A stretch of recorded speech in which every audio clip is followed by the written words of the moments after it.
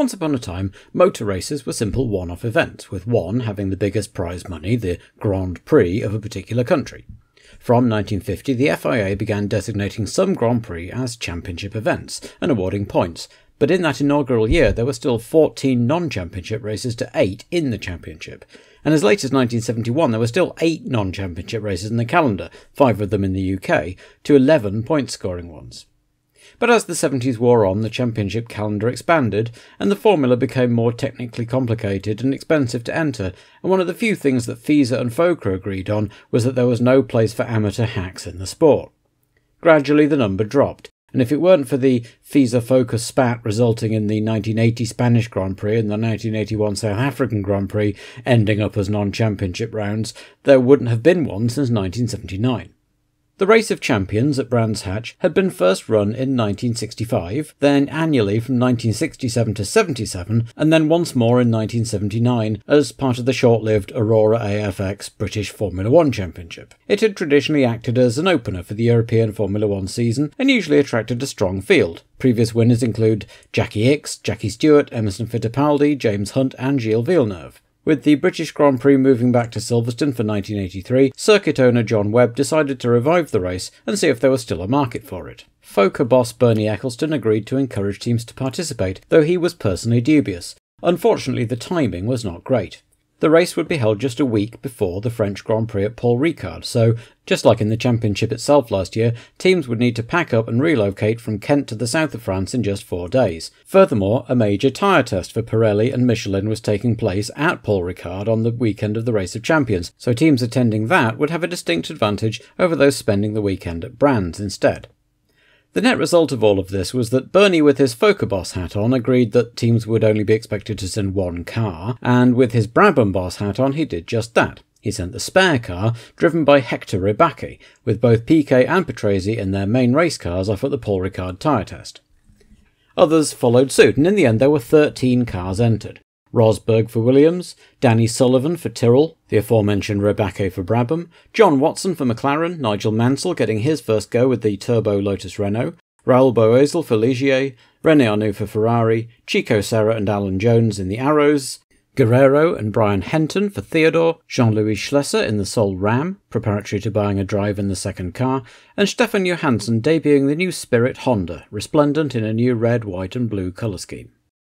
Jean-Louis Schlesser was a nephew of Jo Schlesser, French Formula One driver and friend of Guy Ligier, after whom the Ligier's JS chassis are named.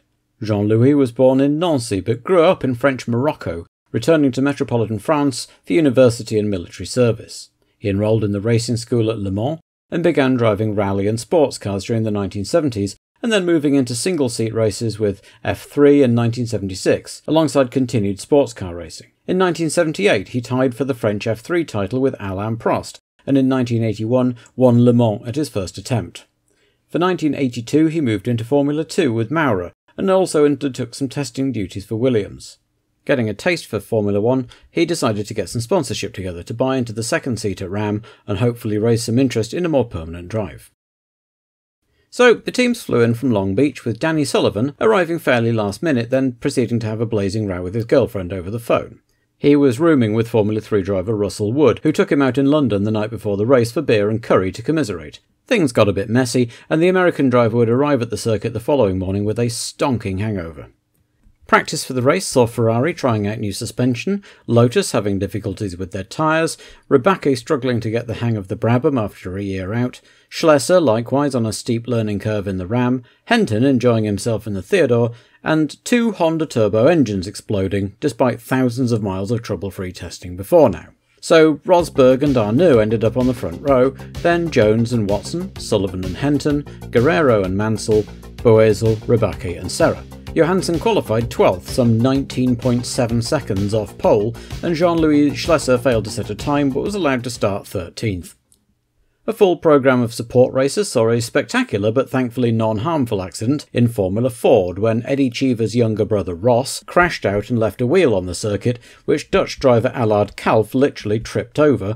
Then it was time for the main event a short 40 lap blast with two of the three advertised Formula One champions on the grid. The lights went green and away they went, Rosberg taking the lead from Arnoux with Watson third, but further back a hungover Danny Sullivan got nudged wide and, fighting the car to stay on the track, ended up going right round the outside and taking third. Jones was soon past Watson too. Arnoux got passed into the lead on lap 1, while further back Johansson was moving up and was now 8th behind Mansell and Rebaque. Jones was pressuring Sullivan for third, but to no avail, while Arnoux and Rosberg continued running close together at the front. After just four laps, Johansson's Honda engine expired in a cloud of smoke, the third engine in two days to do so, leaving the Japanese firm with more work to do to get it ready for racing in anger. At least it had been fast, near the tops of the timing sheets in practice. Arnoux's tyres, meanwhile, had blistered in the frenetic race, and he and Rosberg were quickly caught by Sullivan and Jones, and the four cars were running right together. Rosberg eventually got through, and Sullivan followed further round the lap, just before Arnoux peeled in for new Goodyears. So it was Rosberg, Sullivan, Jones, with Henton fourth in the Theodore, and Mansell came in to retire with handling problems, and Watson a couple of laps later with a dodgy transmission. By now it was a quarter distance already, and Rosberg looked pretty comfortable in the lead, with Sullivan equally happy in second place, but as half distance approached, Rosberg also started to suffer from tyre blistering. Sullivan closed right up, his own tyres having been scrubbed in in the warm up, while Arnoux pulled in to retire with camshaft trouble. Rosberg's tyres were so badly blistered that it was visible to the naked eye, and his car was twitching around on the circuit, but the Williams team kept him out, and Sullivan would have to make his own way past if he wanted the win he was certainly going to give it a go, and over the last six laps he was all over the back of the Williams like a cheap suit. The combination of Rosberg's assertive driving and the extra oomph of the Judd tuned Ford engine kept the reigning champion in the lead. Rosberg crossed the line half a second ahead of Sullivan to take his second Formula One win, with Jones finishing third, followed by Henton, Boesel, Schlesser, and Guerrero. Alan Jones thus finished his two race deal, with Arrows having done all he could to put himself forward for a return to F1, as had an impressive Brian Henton, while Jean Louis Schlesser had acquitted himself reasonably well in his debut in the end. It had been a fun day out for all the family, and an exciting race for spectators and TV audiences alike, but nevertheless only a qualified success, and would, as it turned out, be the last non championship Formula One race ever run you